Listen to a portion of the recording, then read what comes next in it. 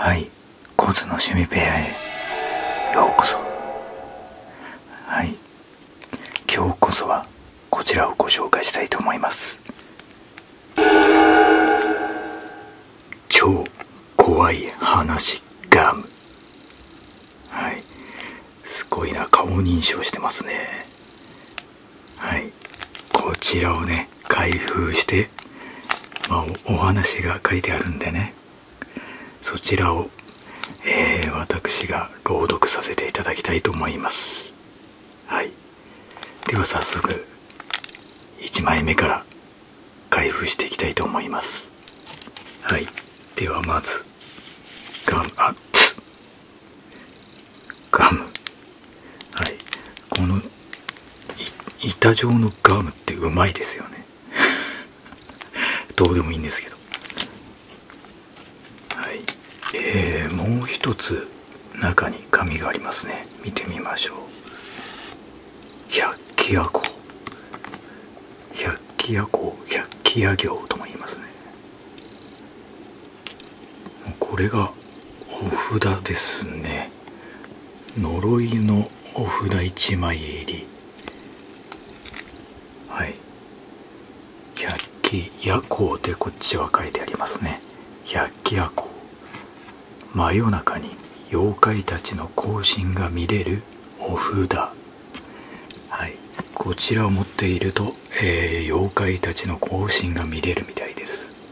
はい。当たりですね。でででで出た。怖い話がこちら。踊る猫の死体。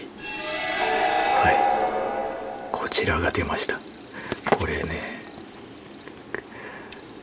ここでねここから開けて中面の続きを読んでねと書いてあるんでまずはここをね開いた状態で読み進めたいと思います。はい皆さんこちらですね。もうすでに怪奇現象が起きているのが分かりますでしょうか？あの前回の動画で見た方はすでにその霊障に気づいていると思います。はい。なんとこちら。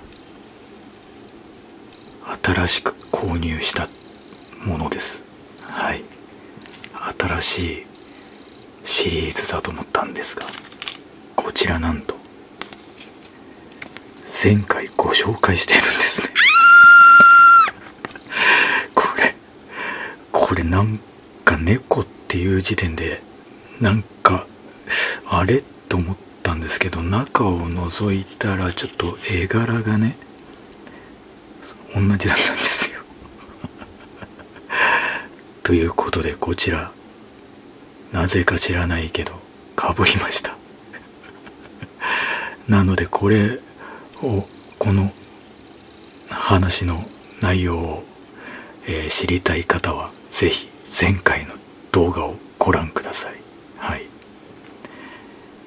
一応ね超怖い話ガムというくくりで、えーまとめてある動画がありますのでそちらからぜひクリックしてみてください、はい、では続いて。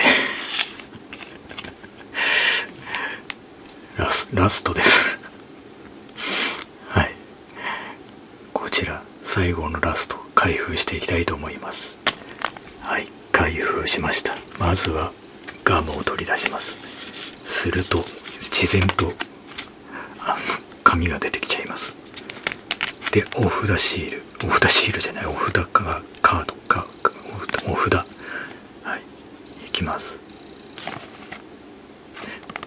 これなんだ？毒語安眠。語安眠聞いたことがない。怖い話を読んだ後きちんと眠れるお札いいいいいいお札じゃねえか。怖い話を読んだ後でもきちんと眠れるっていういいお札ですね。呪いのお札って書いてあるけれども呪いのお札じゃなくていいお札ですこれは。はい。それで、えー、出た。怖い話がこちら。警察官。これは初です。これは初です。はい。はい、えー、では読みたいと思います。警察官。僕が小学校へ行く途中によく事故が起こる横断歩道があります。そこで毎回同じ警察官が交通整理をしています。その人はなぜか不愛想で挨拶をしても何も返答がなくて変だなぁと思っていました。ある朝にその場所を通るとタクシーとおばあさんの事故があったらしくパトカーと救急車が止まっていました。少し離れた場所に毎朝立っている警察官とスーツのおじさんとおばあさんがいて警察官がそのおじさんに手錠をかけていました。僕はその人たちが気になり近づくと不思議なことが起こりました。警察官が不気味に笑いながらそのおじさんとおばあさんを連れて下半身から消えていったのです。すると後ろから声がします。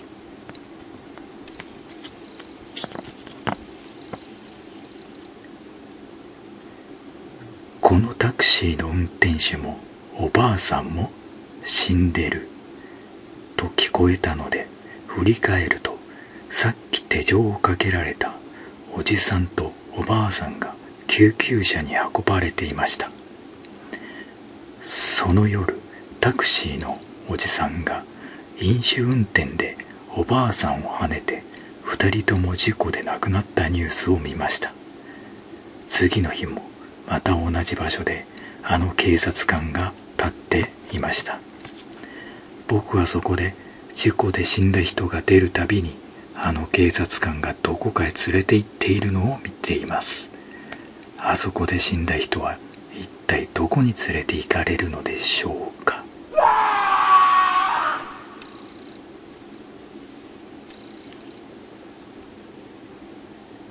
はい。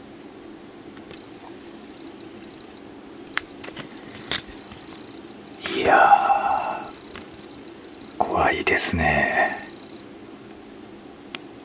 警察官。どこに連れてっちゃうんですかね。非常に興味があります。死なないよ。はい。ということで皆さんはい。このお札を持ってえー、永民永民じゃない安眠してくださいということで大好評の超怖い話ガム。本日はこれにて終わりたいと思います。皆さんもどうかご注意ください。ご視聴どうもありがとうございました。